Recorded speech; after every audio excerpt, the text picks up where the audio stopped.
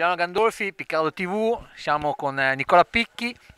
Dopo questa partita recupero serale della, della gara contro il San Secondo, un'ottima prestazione, una buona risposta della squadra dopo la, la gara sfortunata di Domenica Monticelli.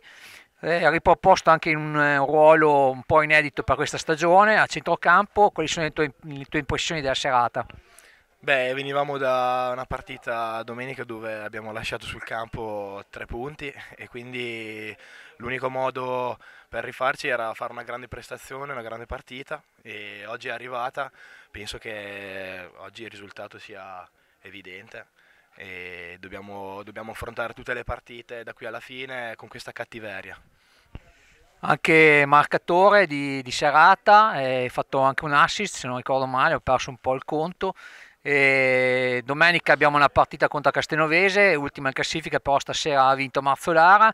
E come ci prepariamo poi anche per le prossime partite? Siamo a tre punti dalla, dalla prima in classifica e come ci prepariamo? Ma dobbiamo prepararci pensando partita dopo partita. Questo qua è un campionato strano dove nel girone di ritorno anche quelle di bassa classifica cercano sempre di strapparti un punticino perché comunque cercano di salvarsi, quindi anche domenica dobbiamo stare qui con la testa senza pensare di essere chissà cosa, anche perché non abbiamo vinto niente ancora e quindi per arrivare fino in fondo bisogna, bisogna impegnarsi ed essere molto umili.